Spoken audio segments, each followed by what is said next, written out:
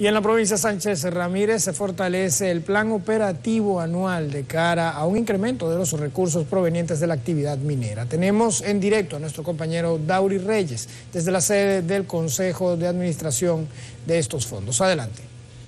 Muchísimas gracias y ciertamente nos encontramos en el Consejo para la Administración de los Fondos Mineros de Sánchez Ramírez, lugar donde se administra y distribuye el 5% de la explotación minera. Aquí llegan unos 200 millones de pesos por concepto de la explotación minera. Sin embargo, ante este incremento al cual se avecina, vamos a conversar con César Núñez, el director ejecutivo eh, de esta institución, para que nos expliquen ¿Por qué deciden ustedes realizar una serie de talleres y capacitaciones del plan operativo anual y cómo lo están haciendo?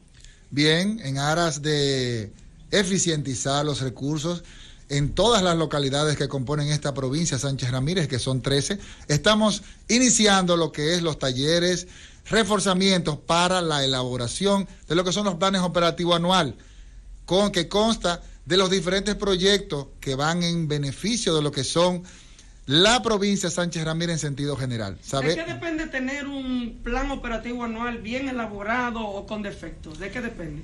Depende totalmente de la continuidad. Sabemos que este dinero que a nosotros nos llega por ley, vía la ley 64-00, la ley de medio ambiente, nosotros tenemos este dinero única y exclusivamente para esos proyectos y debemos preparar un plan a largo plazo y comenzar a alimentar esos planes operativos anuales más los imprevistos que podemos ver durante todo el transcurso del año. El presidente de la República, don Luis Abinader, ha prometido incrementar eh, los recursos que llegan a, esta institución. ¿Están ustedes esperanzados y preparados para recibir estos recursos? Realmente nosotros confiamos en lo que es las palabras del excelentísimo señor presidente Luis Abinader. Sin embargo, hay que notar que nosotros estamos aquí para administrar lo que a nosotros nos llegue, distribuir como manda la ley y estar preparados sobre todo, que para eso es que hemos comenzado con esos talleres de reforzamiento a todas las comunidades. Por el momento son los datos que puedo aportar. Ahora paso con ustedes al estudio. Muchísimas gracias a nuestro compañero Dauri Reyes por el reporte desde Cotuí.